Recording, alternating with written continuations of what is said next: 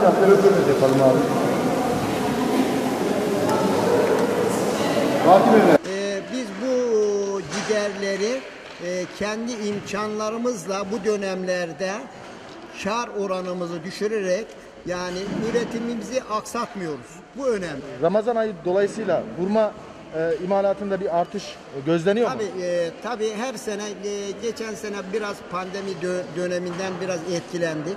Ama şu anda hep çalışıyoruz Allah'a şükür.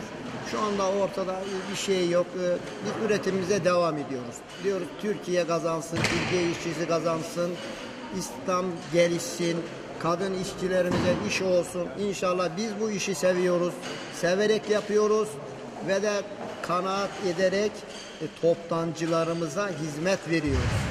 Yani biz Afyonlara, İstanbul'lara herkes nereden malı getirdiğimizde bir ama ne var ki burada biz müşterinin istediğine göre ürün veriyoruz. Ve karşımızdaki insanı kazandırıyoruz.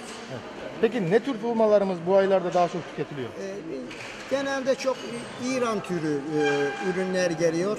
Bunları her çeşit, her ekonomisi, her çeşit e, şey olan, e, uygun olan vata- vatandaşımız alabilir bu ürünleri. E, genelde bu Arabistan'dan gelen ürünler biraz pahalı, pahalı oluyor ama e, bunda e, e, satışımız tonaj olarak daha fazla.